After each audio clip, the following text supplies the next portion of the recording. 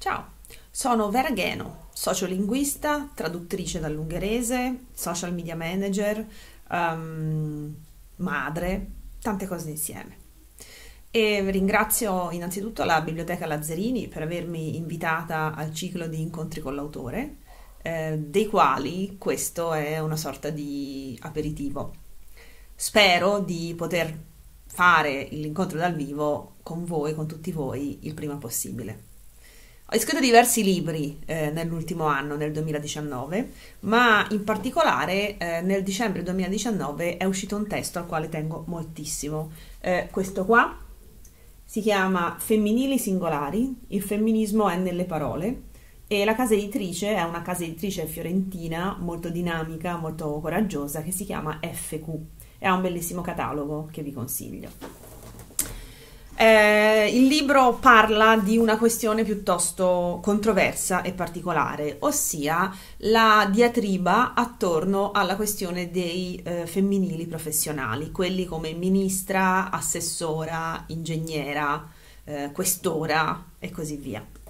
So che anche fra di voi, mentre io stavo elencando queste forme, qualcuno eh, ha sentito un brivido lungo la schiena e sono sicura che molti di voi hanno la tentazione di interrompere la visione di questo video dicendo uh, le solite cose. Allora, un po' avete ragione perché è un argomento molto dibattuto, soprattutto sui social network, però proprio perché è molto dibattuto sui social network ho sentito il bisogno di... Um, fare un'analisi proprio della comunicazione inerente a questo argomento, ma quella specificamente eh, avvenuta e che avviene sui social.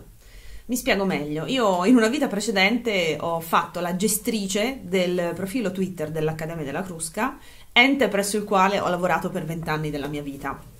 Prima di andare a lavorare per Zanichelli, che è il mio con cui ho una collaborazione fissa attualmente.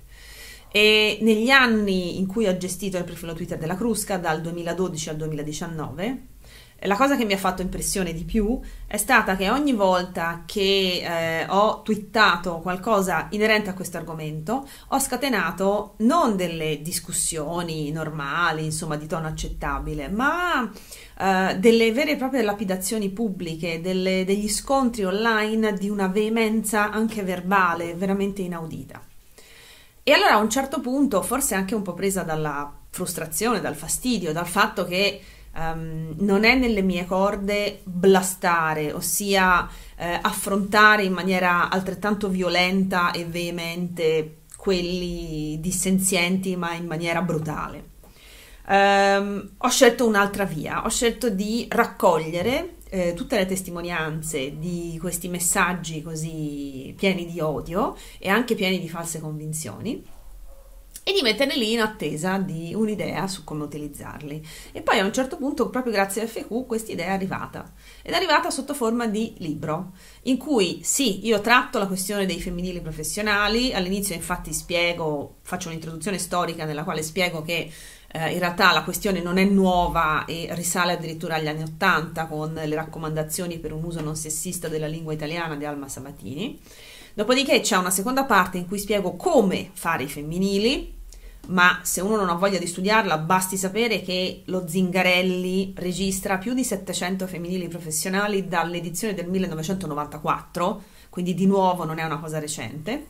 Tutta la, la, la, parte terza o quarta del libro, insomma comunque la seconda parte, il secondo blocco del libro, eh, si occupa invece di eh, sfatare mm, pezzo per pezzo tutte le false convinzioni, eh, tutte le false proteste, le false eccezioni che vengono sollevate quando si parla della questione. Il tipo, allora io da domani dico autisto, oppure presidenta non si può sentire, oppure queste forme non esistono, state tradendo la lingua italiana e così via. Quindi femminili singolari è una passeggiata fra eh, le castronerie che vengono dette in opposizione alla questione dei femminili professionali e, e, viene fornita praticamente per ogni protesta una risposta pacata, basata su fatti linguistici e scientific- scientificamente per quanto possibile ineccepibile. È un ottimo manuale per evitare di arrabbiarsi online sulla questione. E, mh, credo che sia un argomento che possiamo approfondire eh, che secondo me può essere trattato in maniera pacifica, non c'è bisogno di scannarsi a vicenda. Eh, il punto focale del mio libro è che si può discutere anche di questo sempre nel rispetto della posizione di chi la pensa diversamente. Forse questo lo dobbiamo imparare a fare.